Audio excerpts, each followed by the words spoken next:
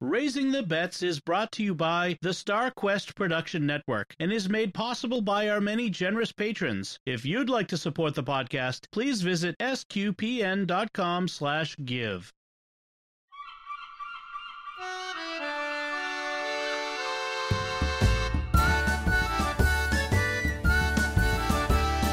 You're listening to Raising the Betts, a family podcast of pirates and penguins. We're a Catholic couple raising five kids outside of Boston. Join us as we share the joys and challenges of marriage, homeschool, and our adventures near and far as we make sense of the world and experience the best parts of our culture. I'm Don Bettinelli, And I'm Melanie Bettinelli. and this time we're recording. This is take two. Take two. Uh, you hear that a lot. For some reason, my recording software, the start recording button has stopped working. So I have to remember to look at the thing and make sure the numbers are clicking over. Anyway, what you missed from the first time we did this, uh, which was only like a minute and a half or something like that. So thankfully, I, I saw it early. If it had been any longer, we probably would have just thrown in the towel and said Merry Christmas after the New Year.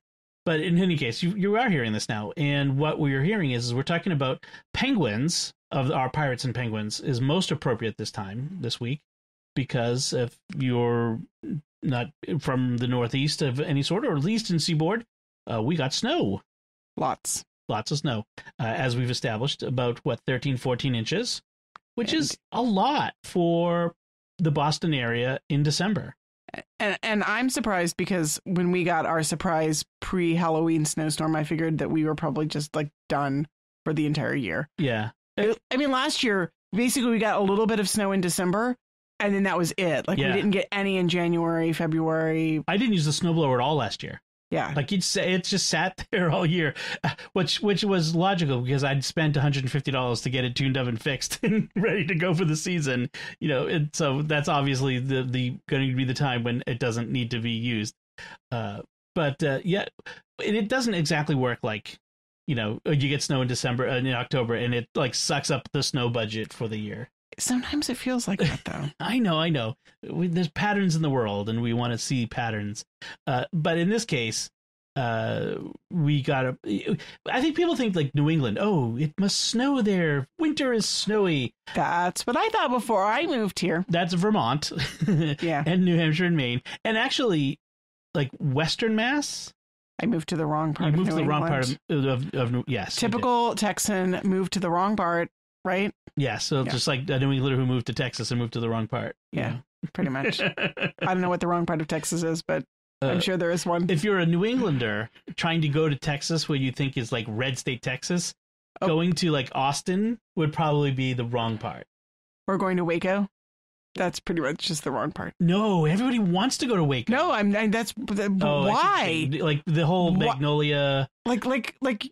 Everyone thinks it's Some of your family members announced amounts to me that they wanted to go move to Waco, and I'm looking at them like, nobody wants to move to Waco. Why? The Waco, is, Waco don't want to be in Waco. Waco is like. Okay, so I my one of my best friends went to grad school at Baylor, Yes. and spent just about every single weekend crashing on our couch in uh, Dallas because Waco is boring. And like he had, we, we got like season tickets to the opera together because Waco is boring and Dallas is fun. So my, my impression of Waco is like it's the boring place that you want to escape to, escape from when you're a grad student there because it's Yeah. boring.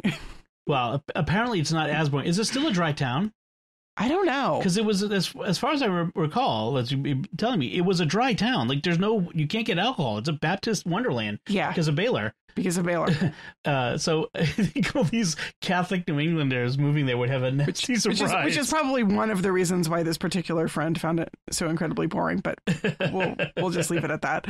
well, here people have this impression that New England, it's like the Boston area, it snows and it's snowy all, all winter, but that is not true. In fact, uh, it's rare that we get snow in December.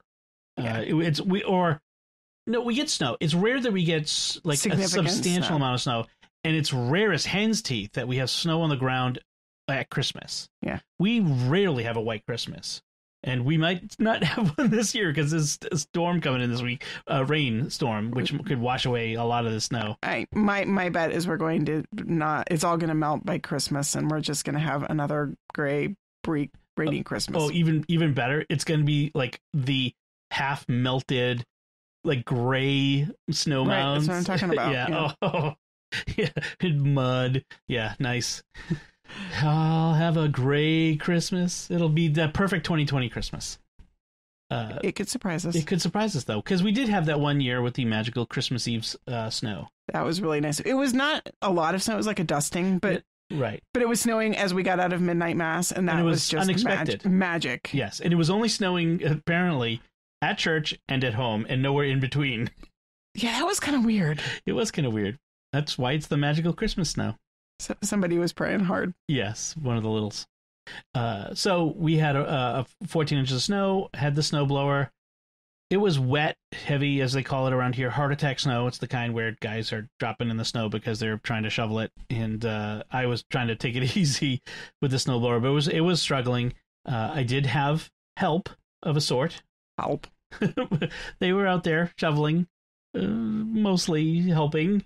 Um, sometimes they get a little distracted, but uh, but yeah, the part of the problem is is I know how to do it. I've been doing it for nigh on forty years, shoveling snow, and so I kind of get the idea of like this is how to get make sure you get. And they don't, and they don't do it systematically, and they kind of just flail at it in different directions. And you're not out there telling them how to do it. Well, I'm either out there with the snowblower, so they can't hear me, or I'm inside recovering, and then they go out when I'm inside or I'm inside working. So yeah, But they, they- they, need they need some more direction. right. So actually, when we got home yesterday, we when we went out, uh, I, I we needed to clear the spot where the van was because the all the snow that piles around it, especially the snow you pull off the top. I have to. The, the problem with the van is it's so tall. I need a ladder to clear the top off. That that was an unexpected thing. That, that's something you don't think about in May when you're buying the vehicle, is having to clear the snow off of it. But that's just one of those things. And uh, so we had to clear all the snow off the driveway. So we were out. I was out there with them, showing them. Okay, here, just just don't like scoop, carry, and dump. Push, just push. Yeah. So there's a lot of those little tricks. Anyway, so we did the, a lot of the shoveling. Uh, one of the things I have to have to say, I look at my neighbors' driveways and I kind of get envious because they get the down to the pavement, they clear the snow, and our pa- our driveway is like it always has like a half an inch of snow on it, and like because the snowblower can't. It's it's not one of those big, powerful, expensive snowblowers. It's the one we could afford, and so it doesn't do quite the job that I want it to do. But that's a New England guy thing, I think. hmm Yeah. It's so, kind of like like lawn envy. Grass is always greener. yes, yes. The snow is always more clear. But the nice thing is, is it's the last few days since the snowstorm has been beautiful. It's really nice because it has. It's been cold, so it hasn't all melted off the trees. So the trees are all limbed and and snow still, and you, you can really see the birds. Yeah. you and Bella have been going crazy for the birds. yeah, we've seen lots of birds: wrens, cardinals, uh, starlings, and the mockingbird. we- We've we've been hearing him all summer, but he he usually doesn't hang out in our yard. But he has discovered that we have uh, rose hips on the wild rose bush, hmm and uh, he was chasing the other birds away from it. the nice thing is, like cardinals, really obviously stand out in, in the snow. Cardinals in the snow are like magic. yeah, they're they're Magic they're birds. there all the time. You just don't see them. Well, you do, but Not not as dramatically. it's they're dramatic. Yes. So that's been, They're that's picture- nice. They're picture postcard dramatic Yeah. when it's got you got snow on the ground. Yep. So that's been nice. Uh, so I mentioned we went out, yeah, yesterday, Saturday, uh, because it was time to get the tree. We are we are among the late tree getters.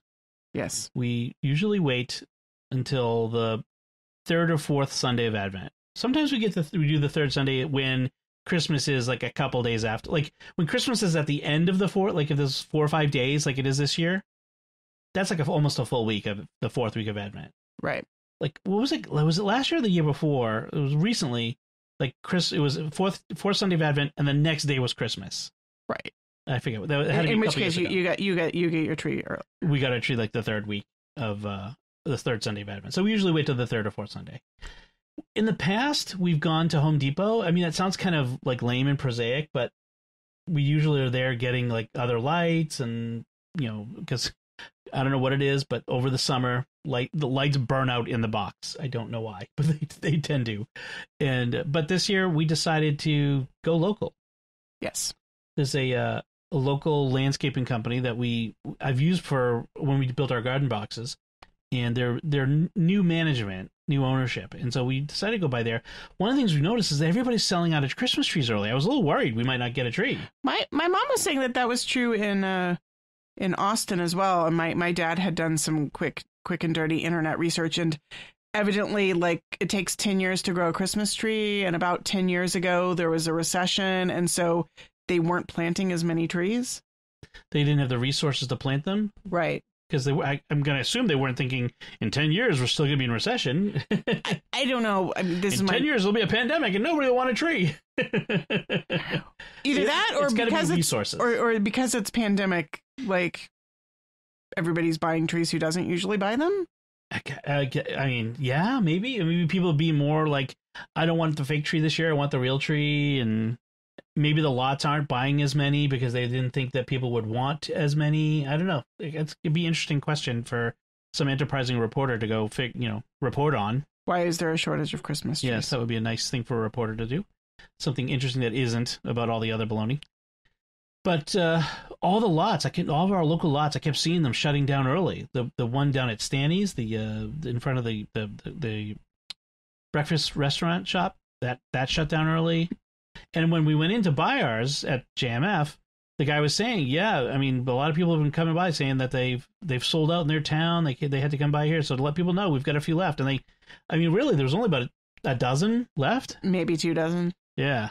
it they didn't have a lot So, but we got the prettiest tree on the lot and it's the best tree we've had in years. ben ben spotted it Yes, he did spot it. I mean, a lot of the they had a lot of nice trees, and frankly, that makes me say because we bought a tree from that same lot with all of the different owners years ago, and but we've been getting Home Depot ever since. I, I think we need to keep going to these guys and getting our tree there. It's a little more expensive. Yeah We paid a little more than than we did at Home Depot, but yeah, this is a nice tree. It's not a Charlie Brown tree. I know you like Charlie Brown trees. i do like charlotte boundaries I- this is a nice conical. It's like a cone shaped. It's exactly what you think of a Christmas tree to look like. it's yeah It doesn't have big gaps. Uh, it was a little tall. I had to cut it down a little to make it fit. i almost knocked it over trying to get the star on it yes, that was mama knocking over the tree it's tipping that was exciting. And uh, yeah, I I should have brought. I should have. We have two different tree stands, and I we bought a smaller one a couple years ago because we've been getting smaller trees, and the big the big one the tree skirt doesn't fit around it. But I think this one this tree is big enough that it might have needed the big tree the big tree stand. Anyway, we'll we'll hear a crash in the middle of the night, and that'll be that. I might have to tie it to the wall. Uh, that's so classic Yes. Well, I'll use invisible fishing line. In any case, um, the uh, tree is up. I love decorating the Christmas tree. I it's so fun with the kids because like there's all the you know ornaments that have memories and we have to tell the stories and Yes. you know so and so gave us this ornament we got this ornament the year you were born like like for a long time some of your relatives were giving us like every year that a kid was born they would give us a rel- a, a My mom. Uh, that's my mom. A mom thing to do. no, that was like one of your sisters-in-law No, I'm pretty sure it's my mom.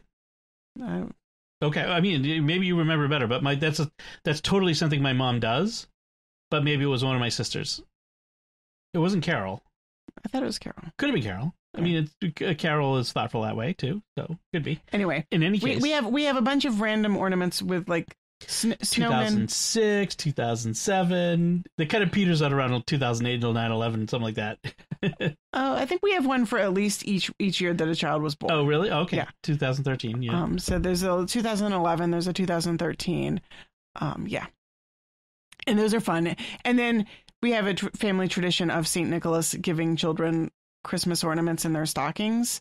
Uh, so there's a whole bunch of like, oh, this is your particular saint. Like there's a Saint Therese ornament for Sophia, whose middle name is Therese, and there's a Saint Anthony ornament and a um, Saint Yeah. Francis ornament. we didn't and- think that through too much because five ornaments every year, after five years, that's 25 ornaments. It's a lot. That's a lot of ornaments. We need a bigger tree. Mm, or two trees. or two trees. Yes. Let's do two trees. Anyway, uh, the, the the the idea is that eventually they will have their own sets of ornaments. So when they move out and have their own first Christmas tree, it won't be quite as bare as our first Christmas tree Although- was. I think I got some ornaments I brought from my mom's collection. I don't remember that. Oh yeah. In fact, there's like an elf on the shelf ornament that I, I purposely left behind because I found that thing creepy as all get out. It wasn't elf. They didn't have elf on the shelf when I was a kid, but it's that elf. You, you didn't have any like ornaments that you hang on the tree. You had some like like a ceramic Christmas No, no, I tree remember and that. that, that I thought I had some No. ornaments that I, our first Christmas tree had like we the generic bulbs from we, we had we had like one box of generic bulbs from Walgreens, and we had some olive wood ornaments that I bought when the people from uh, Bethlehem came to the parish and were selling like little handmade carved olive wood ornaments, Oh right. and that was pretty much it. Yeah. Well, I mean that's what you expect with your first tree. Yeah. You, And it was a, and it was a teeny ornament. tiny tree that that sat on the table because We um, didn't want Bella cl- crawling and Yeah. pulling on the, the Yeah. big tree. Yes, or eating it. Um, well, the other one thing I did was I, I as I opened the box with all the decorations in it, I I said thank you to the two January me because I had the foresight to put each strand of lights as we were taking down last year's tree. I put each one in its own Ziploc bag. So I didn't have to untangle multiple strands. It was all nice and neat. Like I said, some are dead. I, like I don't know, like if it's the heat of the summer in the shed that kills the old ones. I don't know what it is, but uh, but we luckily we had enough Christmas light planned obsolescence. did genie Chris, evil Christmas spirit Yeah, it's the wasps. They get in there. something. yeah, something gets in there and kills them. But uh, yeah, or, or it's Home Depot has a plan like has a chip in it that kills it every three years. After three years, so you have to go buy new ones. Uh, but I, I was kind of disappointed because I want to put some lights up in the office, but we we ran out. Uh, but uh, we got plenty of decorations. The, and the other thing, the nice thing was this year, the kids like Bella and Sophie really took the lead on decorating. Yeah, I like this. definitely. They're old enough now. It's their thing. They can they can reach the top of the tree and all that sort of stuff. And they went around hanging garland around the house and all that. They they get really into it. And it's fine. I'm happy happy for that. And i'm happy to sit back and i put the lights on but other than that i'm happy to sit back and watch them put the put the ornaments on. That's that's their thing. It's much more serene now than it used to be. yes it was kind There's of a little ninety nine percent less screaming. Yes yes there was yes that is true that is true. Um I mean, they used to be very enthusiastic, but also very impatient and easily frustrated. yeah and one of you handing out ornaments to five of them. Yeah. that was and they're waiting and waiting and they want the next one and you put yours right next to mine etc etc you're doing it wrong. wrong. Yes. Oh boy. There's too, there's too many in one place. It's unbalanced yeah so there was that And of course, you all know if you're a mom, what happens is like after the kids are done, when they're in the other room, you go around and like redistribute the ornaments so that they're properly spaced, right? i sense a great disturbance in the in the in the christmas force that there are too many ornaments in one part of the tree They're clumpy. they're clumpy It's just wrong. See, i wish I, fix it. I wish I had like a nice smoking jacket and a wingback chair, and I could just sit in the corner and watch as my my uh bairns all decorate the tree in front of me Uh huh. while my my hunting dog sits beside me and I drink a brandy. What is it about Christmas that makes people like long for cliches that never were? because we've seen all the movies and the and the uh and the uh paintings and the postcards. Something. Uh, it's very home, homey and comforting. I think is what we want. Yes. And this year especially. this year especially. So, uh, okay, so earlier this week, we we had talked about last time about Lucy having her allergy food test, the food challenge, and she passed on the eggs, so she can eat eggs now. And we had another one this past week, which we were hoping would be. we- told everyone we were hoping it would be milk and or wheat, uh, and it turned out It, Neither. She was she was kind of disappointed. Yeah. Uh, so what happened? She, she did actually pass the food challenge, but it was for pecans. and the poor thing. she she was not exactly burning with desire. Like there To was not there was not a pecan hole shaped hole in her life that, that was desperately needing to be filled, and so she was kind of like. We had promised that if she could, if I mean, foolishly perhaps, yes. that if she passed like the dairy challenge, we'd get her ice cream on the way home. Yeah. And I think that was probably uh, Tactical error. because she was very disappointed. I did, however, I made candied pecans for her and she liked them. She was dubious, She was dubious. but but nevertheless, once you'd made them, She ate one and she was like, "Oh, it's okay." And she came back later and she ate another one. th- that child. And then and then she came back later and she was eating a whole bunch of them and coming back and back and back. So she did like them, but that, that child has my skeptical gene. She like it's like meh. I'm I'm not, I, I don't trust you. I don't believe you. I'm not ready. To, I'm not prepared to concede any point to you at this moment. Just try it. All right. Hey, this is good. Like no, no, but she won't say, "Hey, it's good." No, It'll no. be like, "I, I guess it's not horrible. yes, that's what it is. I, I, I guess it didn't kill me. we I'm not dead yet." not dead yet. But so we have another one this coming Tuesday, and I don't know. The the doctors seemed to think uh, last week that the most likely candidates were corn and pecans. So we might be doing corn, which at least she'd be able to eat corn chips, Okay, corn tortillas. tortillas, tortilla chips. Okay, this may not be the most exciting thing for her, but for us, corn would be a big win because, as we have said many times, corn is in everything corn syrup, corn starch, corn everything. I, I was really hoping for the doc, the doctor had seemed very hopeful about dairy, and I'm kind of disappointed that that Right. didn't happen. Well, let's keep at it. She can still do the powdered dairy and baked in things, so that seems like it's still going to happen at some point. We just got to keep at it.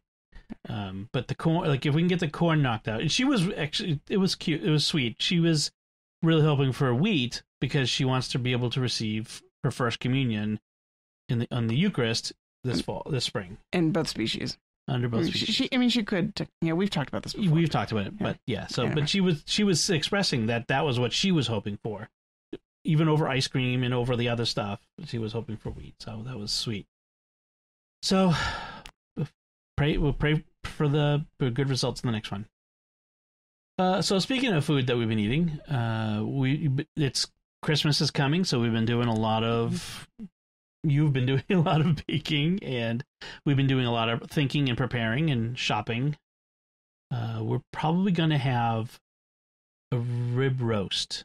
We're well, we're definitely having a rib roast. Probably. it's in the refrigerator. We're probably going to be eating it at some point. Yeah. If it doesn't go bad, no, it, it'll be fine. So we're going to have a rib roast for Christmas Day dinner. Uh, Whole Foods had it on sale again this year. This hopefully this is like an annual thing. I think so. But the best part is, so we you can order Whole Foods delivery through the Amazon website since Amazon owns the Whole Foods, right?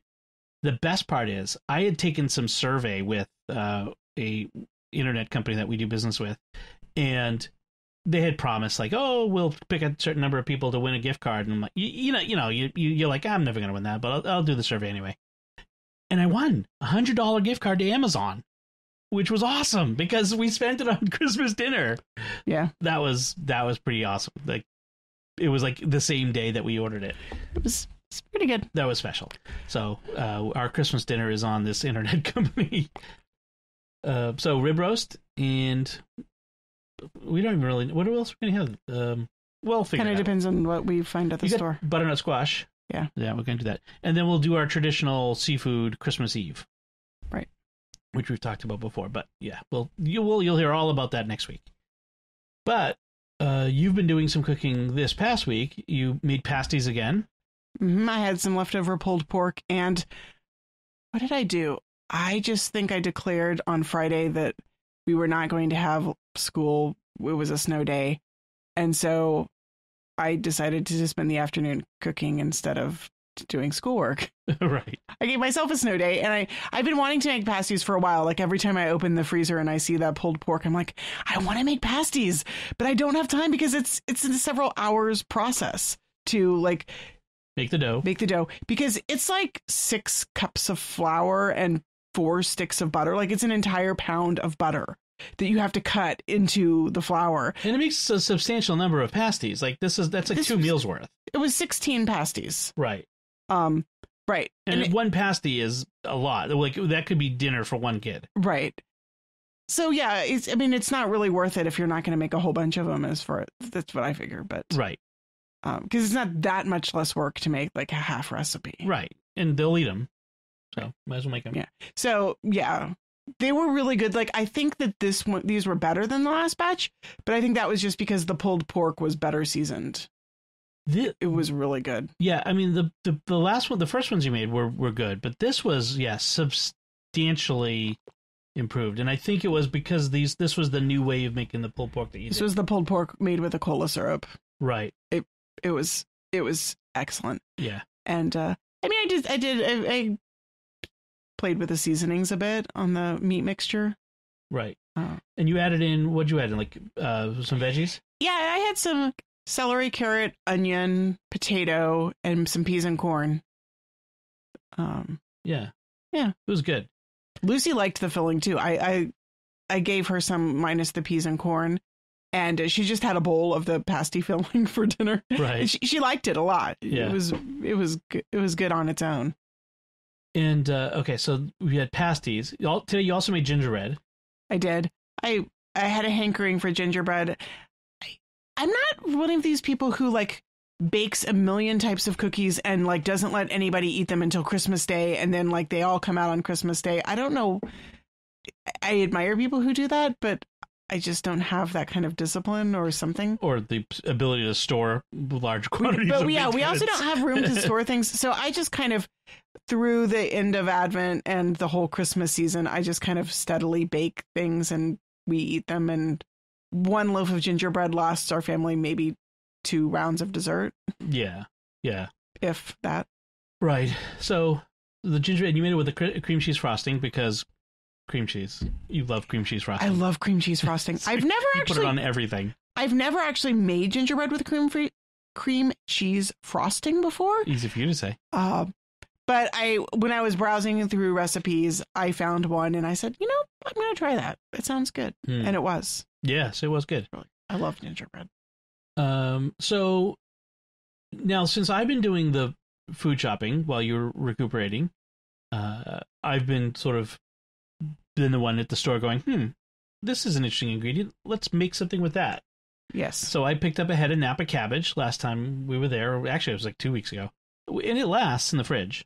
Right. Yeah. Cabbage cabbage is great because it does There's like a half a head of cabbage in the back of the uh, vegetable drawer that's been in there. I think when you made summer's coleslaw or something. I mean, it's been in there. We need to do Yeah. something with it. Uh, but yeah, it lasts. It's it's a like an ever storage thing. But uh, so I- had it and I was trying to figure out what to do with it, and we decided on a stir fry. We, actually, we independently figured out the same chicken uh, stir chicken uh, breast with stir fry with Napa cabbage well when you Google chicken and and Napa cabbage, you get a stir fry recipe. Yeah. this the yeah. Top hits. so we didn't make we didn't make one of the recipes. It was just like, uh, we got the inspiration. I mean, it's just a basic stir fry: chicken, carrot. You basically go Well, through the you refrigerator for and you, vegetables. you see what we have for vegetables, and you go through the freezer and see what we have for meat, and then you Yeah. kind of what makes something it together. different is the sauce, and you're the now the queen of the stir fry sauces, and you did something different this time.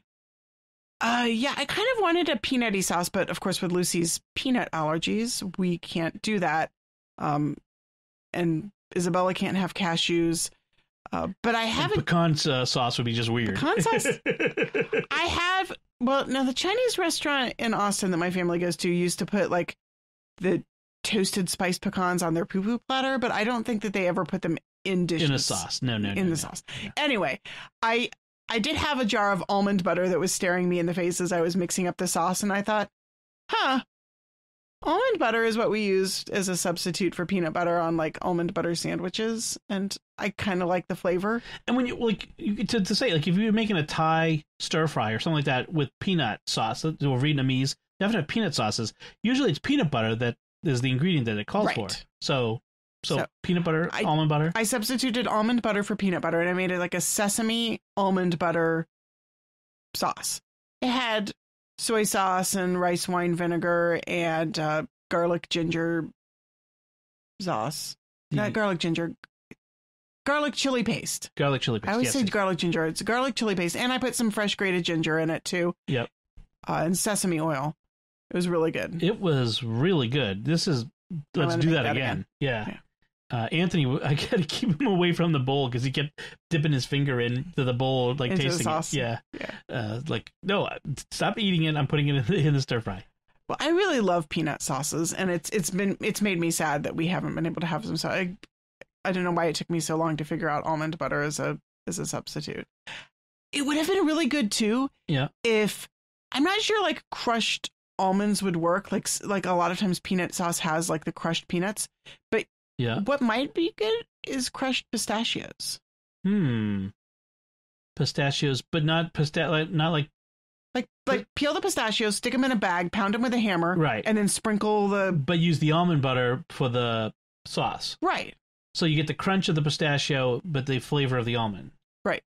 That'd be kind of interesting. Yeah, yeah, because you do. Yeah, I like they a lot of times they call for the chunky peanut butter, so because you get a little more texture out of it. That might be interesting. And and almonds, well, well, I don't know. You crush it up an almond, it doesn't have the right texture Mm, as, yeah. as a pistachio. No, no, yeah, yeah. Um, and the Napa cabbage in the stir fry was really good. I- I I put it in near the end to just wilt it a little bit. Um, because you don't you, you the one of the nice things about Napa cabbage or any cabbage is the crunch. So Right. You want you want it to be a bit crunchy. Yeah, so that I, that came. out- I overwhelmed the the wok a little bit though. Like once, it, like a whole head of Napa cabbage makes a lot of Napa cabbage, and I have to make a lot of stir fry for our family. I need a bigger wok. Is what We need a bigger is. wok. I need a bigger wok. Uh, The, the only complaint about the stir fry actually was was Ben said there was no broccoli. the which was cheered by some of the other children. So this is a balancing act here. Some of the children do not like broccoli in their stir fry. Ben and you and I like broccoli. I love broccoli. Yes. Broccoli is one of the most perfect vegetables. so, anyway, that's that's what we've been eating. Uh, before we move on to the rest of our discussion, I do want to take a moment to thank our patrons who make it possible for us to create Raising the Betts, including Robert G, Chris E, Ann T, Caleb P, and Michael M. Their generous donations at sqpn.com slash give make it possible for us to continue raising the Betts and all the shows at StarQuest. And now is a great time to become a StarQuest patron. Thanks to a generous gift from a StarQuest supporter when you start a new Patreon monthly pledge at sqpn.com slash give. The first three months of your pledge will be matched by an equal amount from our donor. So if you become a new patron at $10 a month, after three months, our donor will give $30 to StarQuest to support all our shows, including Raising the Betts, which will make your gift go even further. So if you've been thinking of becoming a StarQuest patron, now is a great time. Uh, gifts to SQPN are tax deductible. S- SQPN StarQuest is a 501c3 nonprofit in the U.S. So visit sqpn.com slash give today. Uh, before we go on, I do want to mention something that we uh, probably should have mentioned at the top, which is uh, ask for prayers for my brother-in-law and his family. Um, my my sister's husband, Pete, uh, his mom died this just the just yesterday. Was it already just yesterday? Yesterday. Just yesterday, as we record. So if you could uh, say a prayer for uh, for uh, Mrs. Campbell, um, that would be really appreciated. It right before Christmas. It's a tough thing, you know, for them to go through. And uh, they lost his dad um, like ten years ago now.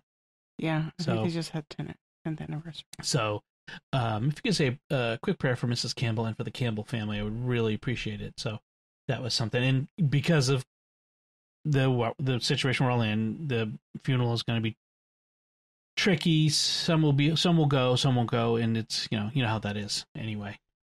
So let's move on to. So I appreciate your prayers. So let's move on to uh, what we've been reading or watching. Uh, What have you been reading, Melanie? I'm still plugging away at Patrick O'Brian. Uh, it's a long novel, and I'm going Yes. slow. yep.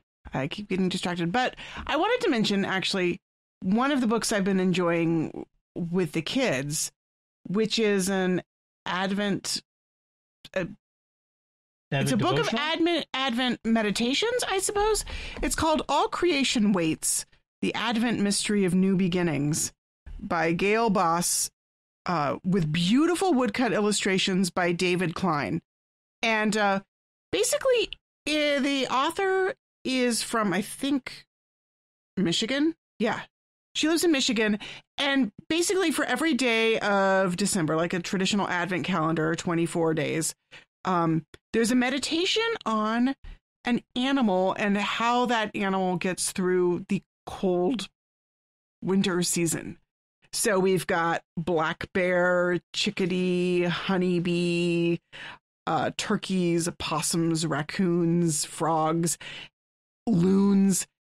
So it's kind of a nature study book. Like, how do animals hibernate or store food or migrate or whatever through the winter?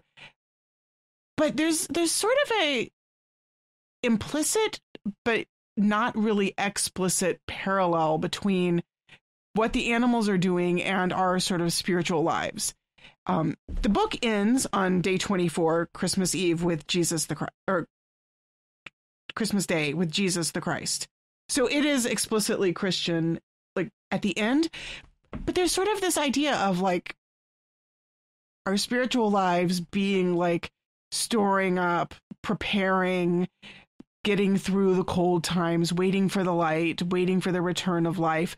There's there's all of these beautiful little hidden hints in each of the animal meditations that don't hit you over the head, but that as we talked about them with the kids, there was all these like really fun little animal facts, but it also kind of got you thinking. Hmm. So it's not I don't know, it, it feels like it's a nice balance between um, uh, nature and faith.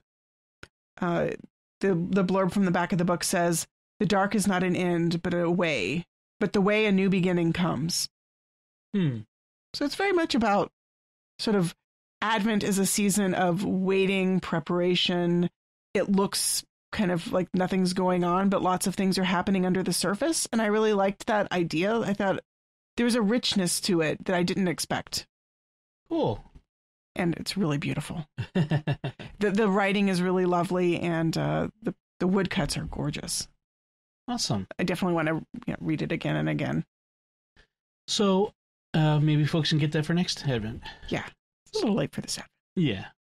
So I'm still working my way through the latest Brandon Sanderson book in his uh, Stormlight archive. It's gonna be a while. he, he, these are big books. I'm like, I'm I'm eight percent through it after a week. Wow, This is I, I felt I was feeling bad about being like yeah. fifty percent through uh, Post captain. post captain. Yeah, no, this I uh, I read the the most recent one last year, and I thought this was going to really mess up my Goodreads, uh, um, getting to my goal. And thankfully, I read all of the Dresden Files, and that really pushed me over the top.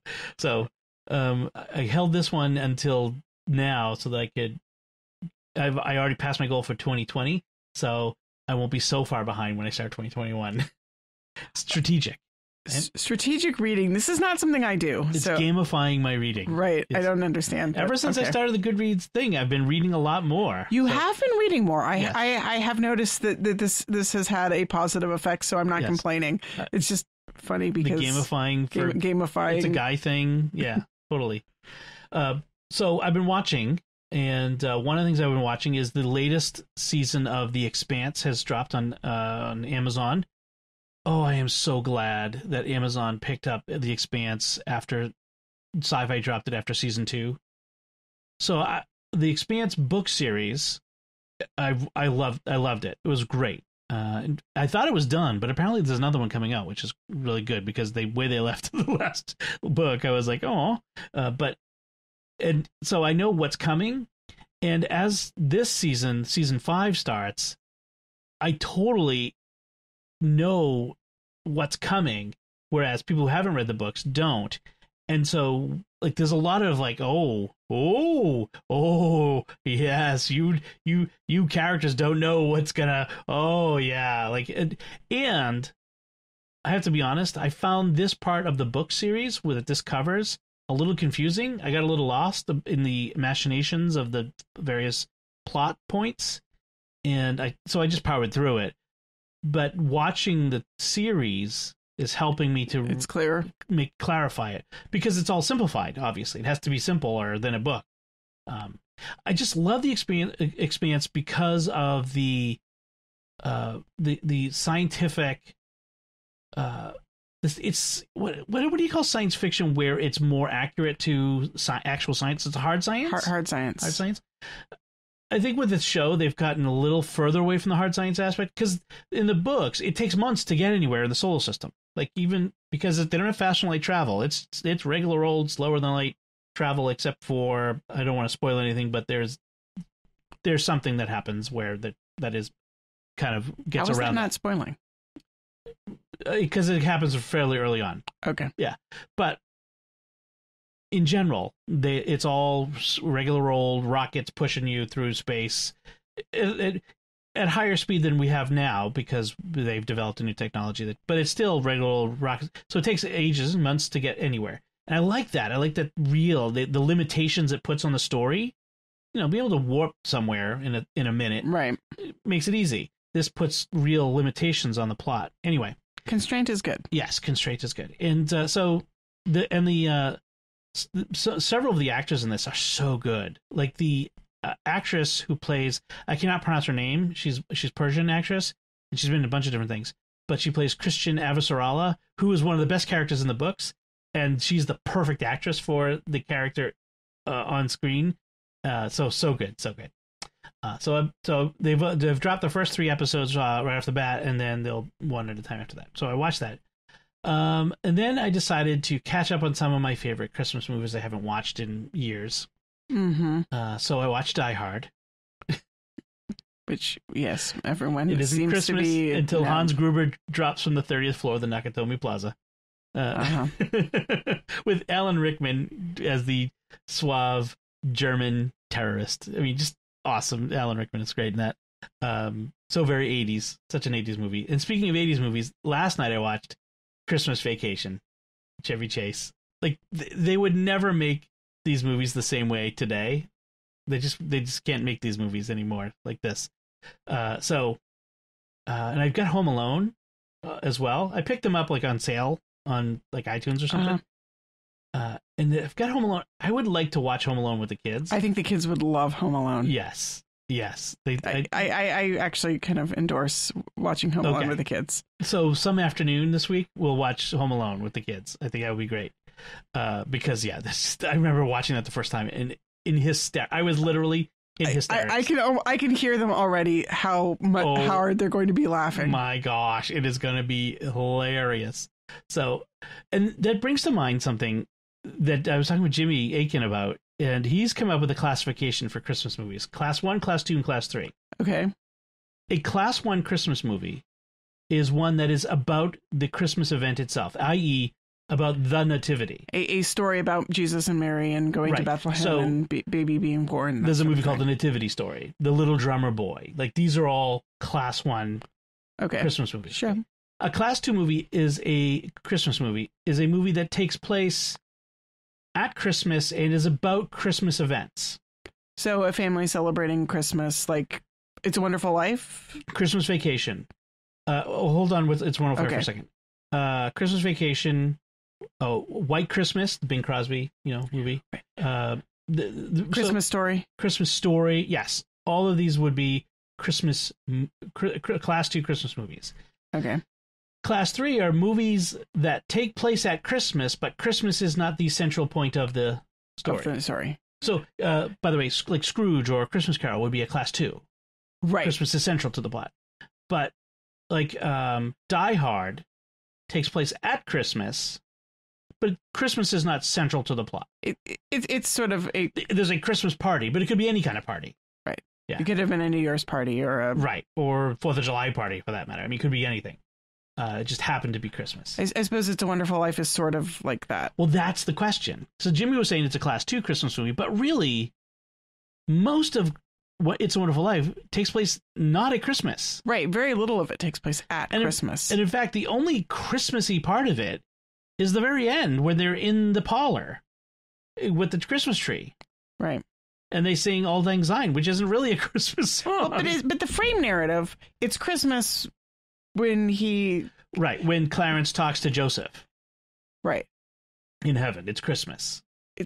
it's Christmas, and and the the frame is it's Christmas. He's in despair. He goes Right. back and he sees that his entire life has had a point, and now we're back at Christmas again. Right. So the So- frame is so It's it's it's it's. And in a way, you could you could argue that it's like a Christmas Carol, which is like Scrooge goes is taken back to its past, but it's just like the the past part of a Christmas Carol without the future and the present. Yes. Yes. Ba- basically, it's essentially a Wonderful Christmas Life Carol. is a Christmas is a remake of a Christmas Carol, but where you only do Christmas past, not yes. not future and present. Speaking of remakes, Uh huh. be prepared. Prepare yourself. Th- I've heard that they're making a remake of It's a Wonderful Life starring Pete Davidson from Saturday Night Live. I don't know that who that is, Oh, but if you if you had seen him and stuff, you would you, your your top would flip. Like like never mind remaking It's a Wonderful Life. Do, there Well, are things we- that do not need to be things remade. things don't need to be remade. And It's a Wonderful Life is definitely Get your own Christmas new movie. Stop messing with everybody's stuff. Like, like seriously, Frank Capra does does not need to. You don't need to ta- try to top Frank Capra. Right. There are things that have been done well and should not be done again. Like, don't. No one's gonna ever remake The Godfather. It, it is The Godfather, and that should be it. I, I guarantee you, somebody at some point is going to try to remake The Godfather. Will- hopefully, Martin Scorsese will come back and haunt that person because Probably. he'll wake up to find a ghost uh, horse head in his bed. Hmm, that would be appropriate. so, should I'm trying to think of other like. So, Home Alone is definitely a class two Christmas movie. Yes, it takes place at Christmas. Christmas is a central part of the plot. Right. Who who goes away with their whole family to Paris for Christmas? But that's a whole nother question. I, I would if I could. right, right, right. So Christmas Vacation, uh, Class Two. There aren't a lot of Class One Christmas movies if you No. think about it. Most are about people's celebration of Christmas. Well, because the the Christmas story is well, It is what it is. and and we we we all know it. We love it. You could tell the character stories around it, like you could tell, like the Little Drummer Boy. Right, like the, there's a whole genre of, of kids books that are like stories which take place There were a, had to be a lot of people at that table because there's so many kids' books with big characters. right yeah told from the point of view of, of the shepherds or the king the magi or you know some little the spider on the wall. the animals in the stable lots of animals in the stable books because you know kids love animal books Right. um yeah and we've got we've got a few of those. Yes. Yes. and I, and I like them. They're fun. They're they're but you really don't need that many of them. What would you think about a Holly and Ivy movie? Like the the kids book? To, to make the kids book into a movie? that would be really fun. Holly and ivy is one of my favorite kids books. It's yeah, it's by Rumer Godden who is one of my favorite authors. Catholic author. um and uh, the illustrations of the copy that we have are by Barbara Cooney, who is one of my favorite children's book illustrators. It is a perfect marriage. Like Barbara Cooney's illustrations are gorgeous. So Holly and Ivy is a story about wishing. But I think really in Rumer Godden's universe, wishing is an analogy to prayer. So they're really books about prayer, but for the sort of it's, it's sort of far evangelization, the pre-evangelization. It's not the Right. gospel, but it's about our need for prayer in our lives. And Holly and Ivy is, is about grace, really. Right. So it's about a little girl named Ivy who's an orphan and a little doll named Holly who's a Christmas doll. Right. And the the story b- bounces back and forth between the point of view of the doll and the girl.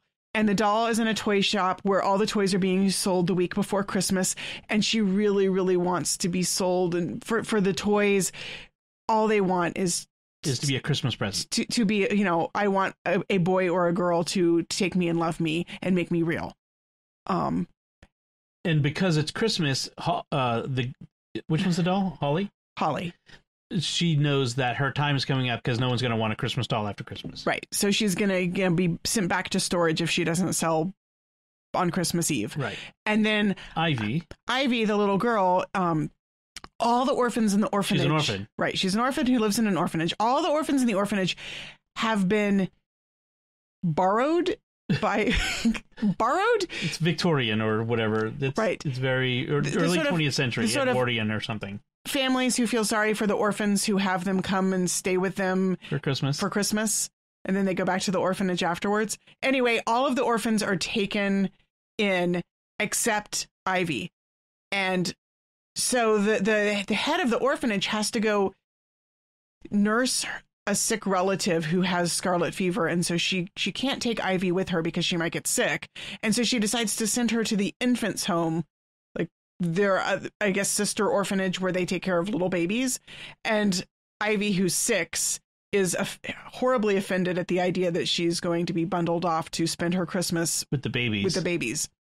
Uh, but she's put onto a train by herself with a tag to tell the conductor where to get her off, and presumably they will tell the whoever comes to meet her at the train, Very different time, isn't Um, it? Which is reminiscent of you know the, the evacuees yeah. in World War II. Children were put onto trains, Yeah. right, with with Tags. luggage tags. Uh, but Ivy takes her tag off, throws it away, and she has an idea, a story that she's told to comfort herself and to push away the loneliness. That she has a grandmother who lives in the town of Appleton, and it just so happens that the train she's put on stops in Appleton. And so she gets off the train and goes looking for her grandmother. And she wanders into a Christmas market. And she has a little bit of money that she's been given for Christmas. So she buys herself toffee apples and hot roasted chestnuts and uh, hot cider and a balloon. And then she sees the doll in the window and falls in love with her. And then she ends up sleeping in a shed that's that backs up to a bakery where it's like Where the ovens are the, where the bakery ovens are warm. Yeah. um and uh She. Well, do you want to give give away the the ending, or it involves a policeman and his and his wife. They they're involved, yes and and the little boy who works at the toy store it, Yeah. it's a beautiful story it's a it's a story where which has a very happy if slightly improbable ending more than slightly, but it's a story of grace, and so it's a, almost a miraculous ending. So it's a Christmas miracle. right I, I i don't know it's i mean Rumer Godden is a beautiful storyteller and she makes it feel real and But also, there's it, nothing is a foregone conclusion. So there's a bit of tension and danger or in it, and you feel, right especially as a parent, like, no, no, no, don't get off the train. Don't, don't, don't, don't, don't get off the train. little little six year old girls w- wandering around by themselves in winter in the snow Yes, it's I've seen this one. That's the little match girl. don't go.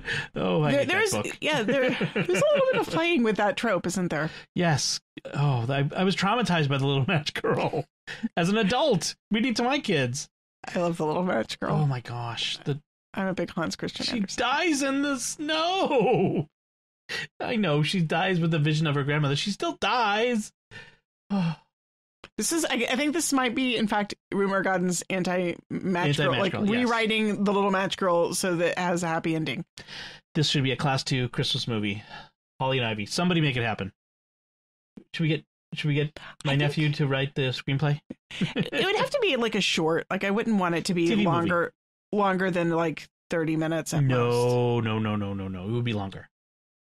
No, not 30 minutes. You couldn't tell that story in 30 minutes. yes you could Not visually, not a visual story like that. No, no, no. No, I be- I'm thinking it's it's kind of similar to like the Snowman, you know, which is like the movie with no words. It's just like the little boy going on the winter ride with the snowman. Oh, we have very different uh, sensibilities here. Because I think because I think that it would be best with with because so much of it is interior what the what the characters are thinking. I think you could tell it with a lot of like No. beautiful music No. with without a whole lot of words. Okay, you've just ruined it. no, it needs to be like an, it needs to be like a TV movie, like an hour, an hour, hour and a half movie.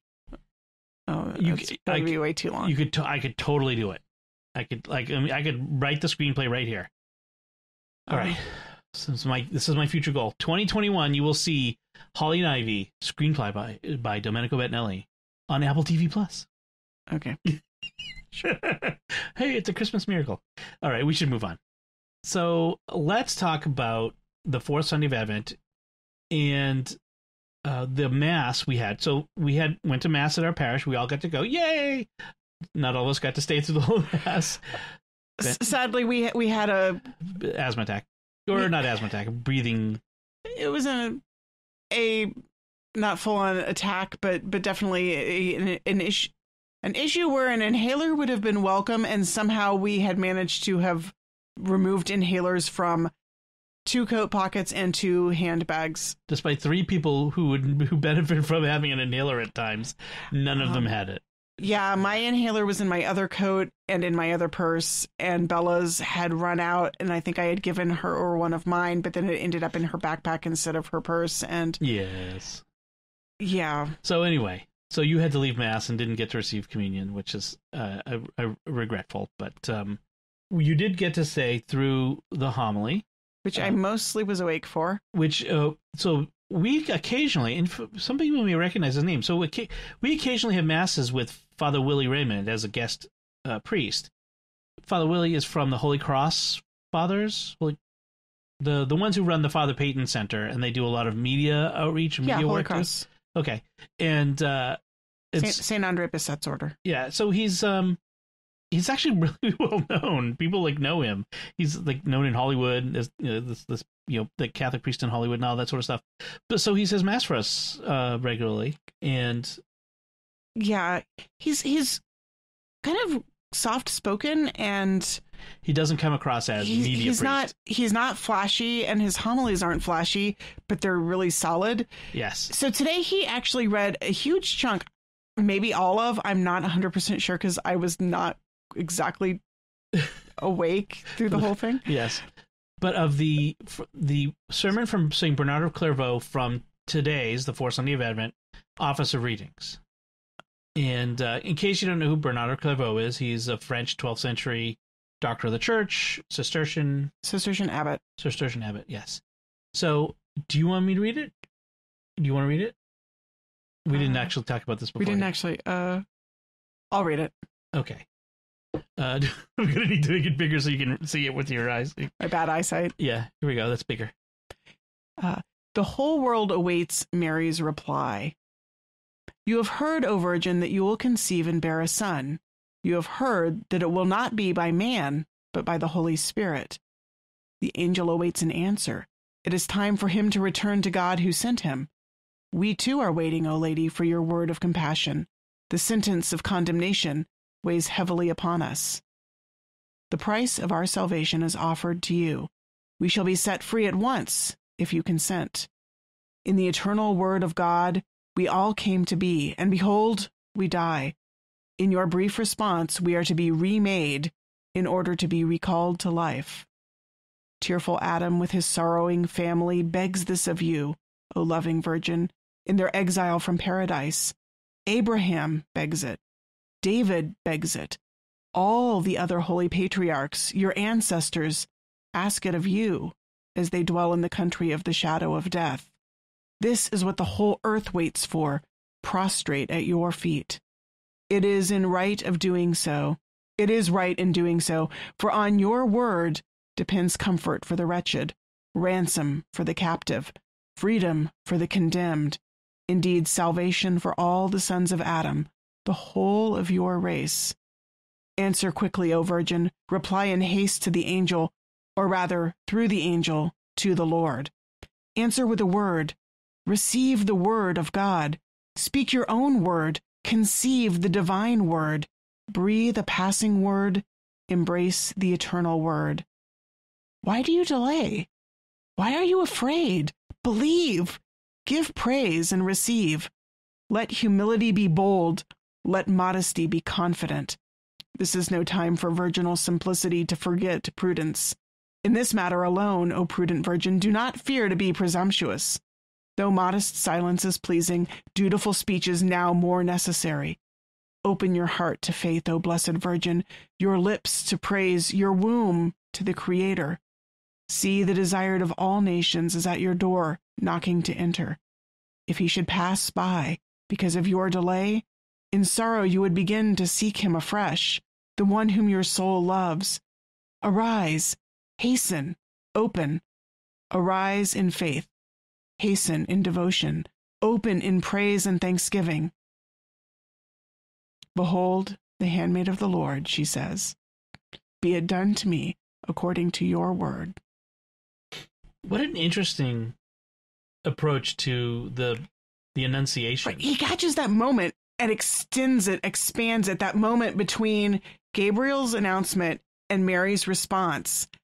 and this whole meditation is sort of that that breathless wait for it, wait for it moment.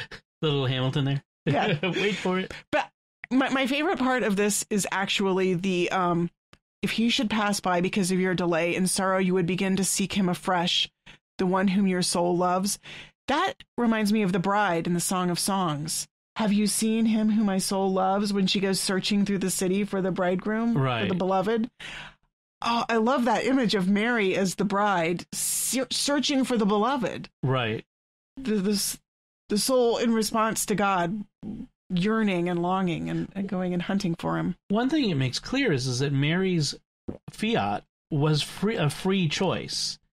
Yes, a friend of mine uh, shared with me a poem that was um, clearly written from a pa- place of pain and suffering, but in which the author implied that Mary was not given a free choice. Hmm. And it was very distressing. I mean, clearly, this person had been in- some sort of a situation where religion had been abused in their life as a controlling factor. Right. And so you, I, I, it left me with only deep, deep sympathy for the author, but sadness too that they had not really experienced the fullness of the gospel, which is that God wants us to have a choice. right. That all of creation hinges on, all of salvation hinges on a free choice. Mary's freedom is first and foremost. and it's not clear to me that it, so it's kind of complicated but it's not clear to me that if mary had said no it, it's not clear to me that god would have said okay well we'll find someone else Right. that mary's net yes was absolutely necessary. And while her choice was free it it, it was foreseen that it would be yes. It's the paradox of free will of, of uh, and a god who Who knows everything, who knows everything. And is outside of time. right. So so there is that. So that to, don't break your brain thinking about it. I, mine, mine gets a little squirrely when i do. But in any case i love this idea of the you know now's not the time to be modest and humble. You've got to grab hold with two hands and say yes yes yes. There's also this this I- the gorgeousness of recounting salvation history, like all of her ancestors, all of the patriarchs waiting for this young girl. right. Right. You feel the whole weight of those generations upon generations of patriarchs all just hanging out there in the shadow of death, waiting, no pressure waiting. no pressure on you, but uh, we're all kind of waiting. Uh, also, and you pointed this out, is the, the the duality of you know give the word and receive the word. Right. Oh, I love that that that phrasing. Bernard is such a beautiful poet. I mean, this is this is really poetry, even though it's written out as prose. Um, but yeah, breathe a passing word, embrace the eternal word. He does a lot. There's a lot of repetitions in that paragraph. Word, word, word, word. Um, Right. Mary, Mary's word, and then God's word. or like the other one, one was open your heart to faith, your lips to praise, your womb to the Creator. Like just open yourself to to all of to God in all these ways. I mean, just beautiful, beautiful. I'll put a link to uh, the the office for also, today I just want to say that show notes. a lot of times priests feel a need to innovate. And sometimes like going back to the classics like Hmm. saint bernard of clairvaux. Can I write a better sermon than Saint Bernard of Clairvaux? Maybe not. and he- this wasn't the, t- the sum total of his sermon. No, he, he, he had other remarks that were you know pertinent and timely and unpacking the readings and connecting them to to our daily lives. But it was really nice to hear something this beautiful at mass. I it's really nice when priests take the time to to incorporate some of the the classics Well, and when they trust that their congregation will be able to appreciate this, you know, just throw it out there. It- it's like it's like sharing stuff with with your kids. Like even if it kind of goes over their head a little bit, they'll eventually they it, something sinks in. Well, right when we were talking about it in the car on the way home, um, I reread it, and you know, Lucy chimed in. She said, "Oh yeah, I remember some of that." Yes, She was paying attention. She did hear it. She recognized it when she heard it again. Um, so yeah, I I think that a lot of times we sell kids short, we sell even adults short, thinking, well, it's going to go over their heads, so why bother? Well, but sometimes poetry, beauty does go over our heads and we don't necessarily catch it all. But that doesn't mean that it doesn't move us or make an impression just because you didn't get all the nuances the first time through. Right, right, exactly. So yeah, Be, and, and when you would listen to the Divine Office when the kids were were little little, and we saw well, you found like Bella started saying the the at, at three and four years old saying the responses with you. You know, My my my favorite was when she would she would repeat, uh, "The cross of the Lord is the tree of life," but it was like dropping the L's. The cross of the Lord is the tree of life. it was very cute. very cute. So, pastors, fathers, share more of this with your congregations. Some may get it, some may not, but put it out there. It's the it's a gift of the church to us. Share it with us, all of us. But uh, anyway, Bernard of Clairvaux, this was a beautiful reading. Oh. What a great uh, Advent meditation it makes. My my other favorite thing from Mass is the today's collect is the prayer from the Angelus. Pour forth, we beseech thee, O Lord, thy grace into our hearts, that we, to whom the incarnation of Christ thy Son is made known by the message of an angel, may by his passion and cross be brought to the glory of the resurrection. Yeah. What was the first reading? I forget now. I don't have it in front of me here, but the uh let me usccb.org and the readings for the fourth uh the fourth Sunday of Advent was oh King David. Oh, that was the other part of the homily that I liked. I knew there was another part where he talked about here I sit in this big uh, palace of cedar, this house of cedar, while God is is in a tent. I'm going to build him a nice temple. And Nathan says, Hey, that sounds like a good idea. And then God says, Hey, if I want a house, I'll build a house. I get things for you to do. So listen to me. Uh, you know, I'm the one who took you from the shepherd boy to the throne. Well, I, there's so many things I love about that reading. Um, Dave, you know, you're going to build me a house. I will give you a house. But David is talking about a building, and God is talking about all of salvation history. Right. Like, I won't give you. I, Oh, what a house you will have. It will include my son. Right. I've got better things in store. right. Um, I will raise up your heir after you, and I will make his kingdom firm. I will be a father to him, and he shall be a son to me. your house and your kingdom shall endure forever before me. Your You- throne shall stand firm forever. So, you know, thanks for the thought for the building me a temple, but um, I got that. Your son, your son will build it in, And- in in more ways than one. Solomon and Jesus. Right. And Father Willie, as point pointed out, God is a father who keeps his promises. There, 500 years, for about 500 years, David's sons ruled as kings in Israel. And then there was the, the exile. The king of the king in Judah was exiled to Babylon and never seen again. right. And that was the end. There were no more kings. And then 500 years after that, we get Jesus. So for a thousand years after David, they were waiting for this promise to be fulfilled, but God, God God keeps it. keeps his promises in, in his in his time. That was the that was the right time. So, all right, that's good. I think uh, I think we should Yeah. end things there. and Uh, a very Merry Christmas. Yes, the next time you hear from us will be Christmas. So uh, it'll be, you know it will be the octave of Christmas.